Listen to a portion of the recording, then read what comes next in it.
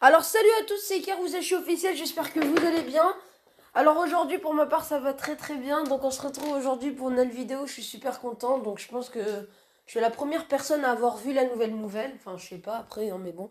C'était pour vous annoncer que Beyblade Burst Squad Drive, ça va commencer le samedi 28 mai, donc il y aura les trois premiers épisodes, c'est juste incroyable.